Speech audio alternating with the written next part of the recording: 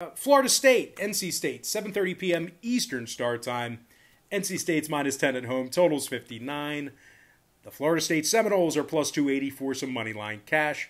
The Noles are on a two-game losing streak. They lost to Pitt by the final of 41-17 this past week. They also gave up 48 to Louisville the week before that. The Noles have given up 159 total points in their last four outings, basically 40 points a game they gave up during that stretch. The Noles are winless on the road this season, just 1 and 2 against the spread in those three road contests. They're giving up over 280 yards a game on the ground when they travel.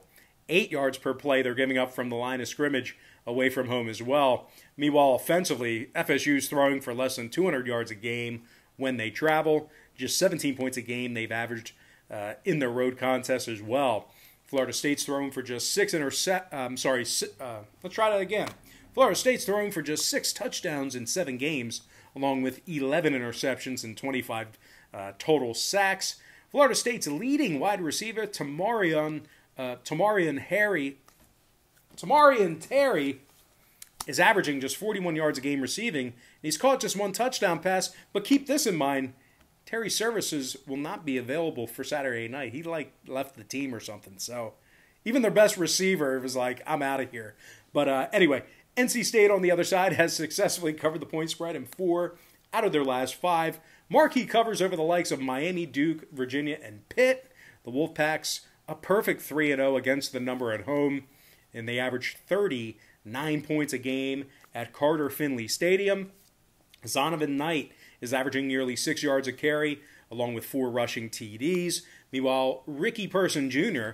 is averaging five yards a carry himself, along with three rushing touchdowns as well. Meanwhile, on the other side of the ball, as bad as this NC State defense has been, they still amassed 21 sacks on the season, three sacks a game. This aggressive pass rush is averaging.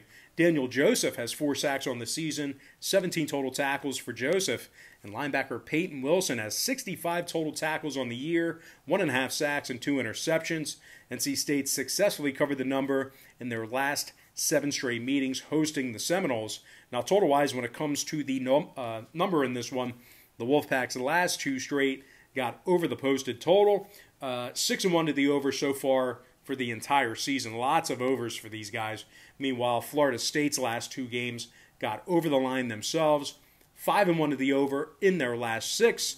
So with all that said and done, give me the NC State Wolfpack minus 10 and the over 59 in that game. Still find it funny that Florida State's best receiver uh, is no longer a participant on the team. So that's just how bad it's going for the the the Noles there. But anyway, guys, that is going to do it for me.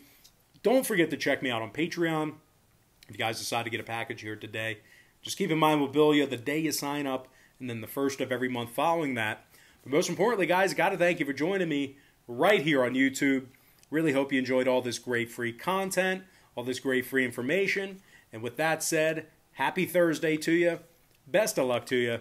And I look forward to seeing you later on today on my website at patreon.com slash Brock Page.